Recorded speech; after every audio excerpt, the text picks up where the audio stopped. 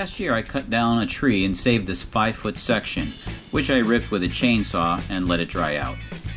You can see all the uneven rough marks left by the chain.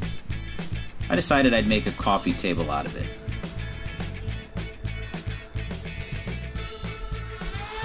I'm using this hand planer to try to level the surface as much as possible. So after planing it down pretty well for about a half an hour, we're going to do uh, sanding with a coarse grit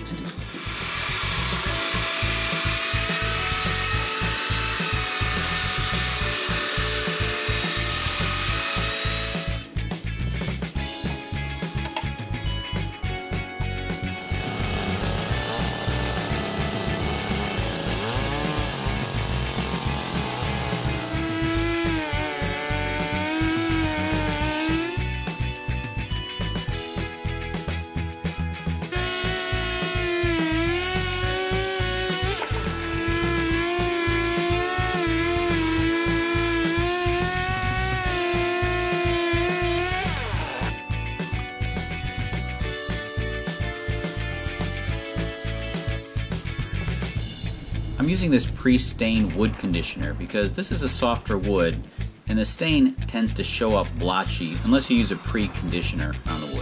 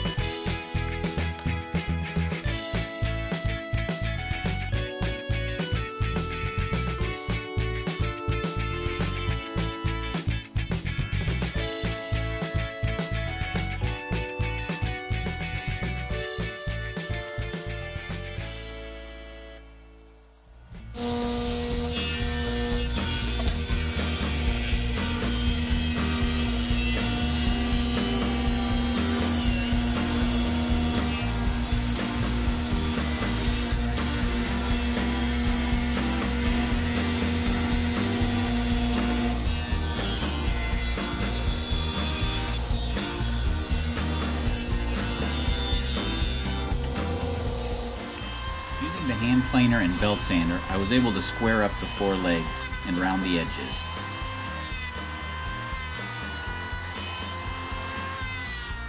With the coffee table bottom facing up, I'm going to mount these leg brackets equally spaced.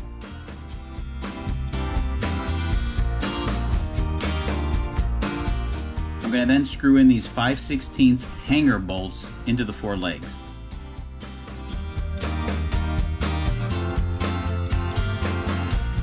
Now using the belt sander, I sanded a flat spot to mount the brackets. I'm also going to use longer screws than those that came with the package.